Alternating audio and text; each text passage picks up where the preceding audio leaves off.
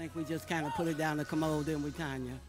We said we're not going to think negative. And what does the word say in Romans 12?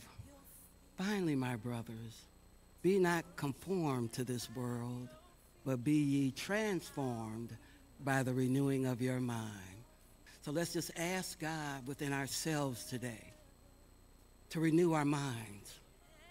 And the way that Reverend Zandra has shared with us is whatsoever is true, whatsoever is noble, whatsoever is just, whatsoever is a good report.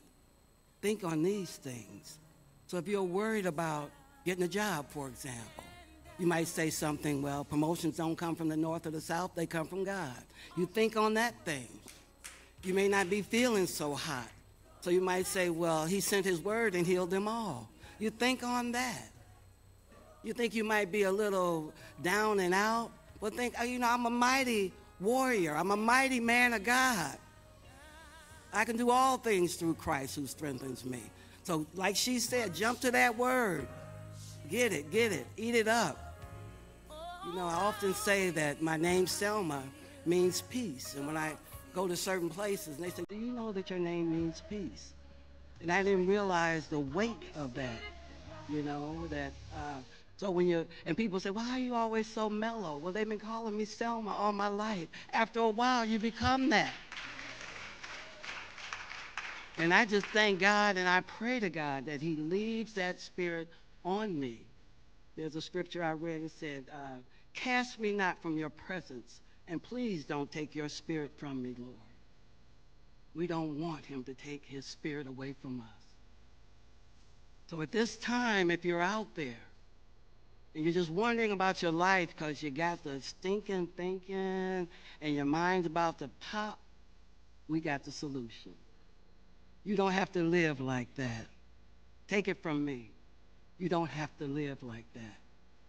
If you just repeat after me, I can help you with the stinking thinking. I can help you open up your mind so that your whole spirit is brand new because when we give our lives to Christ, everything becomes new and we become a new creation in Christ. And that's some good news. So if you're out there and you want all of this, what we talk about, just repeat after me. Dear Father, I am sorry for my sins. I was wrong. I was low down, dirty wrong. I was so wrong, I was wrong to wrong. But Lord, I believe in you. I believe you came to earth. I believe they crucified you. And I believe that you got up. And I want you to come into my heart and be Lord of my life.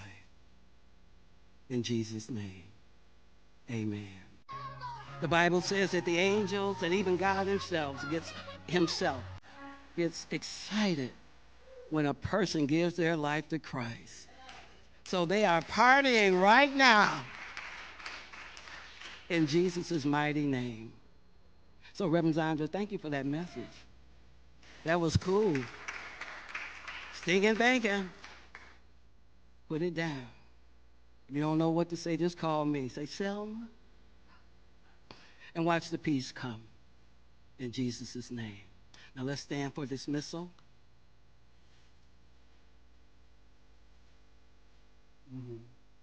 So may God continue to bless and keep you.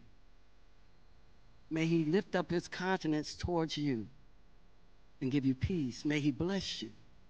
May he bless you going in. May he bless you coming out.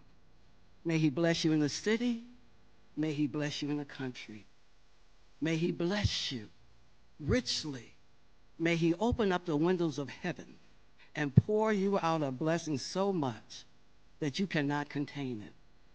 May he do exceeding abundantly above all you could think or ask. And may he lift up his countenance upon you and give you peace. In Jesus' name. Amen. We'll see you next week. Thank you for all that you do. Love you.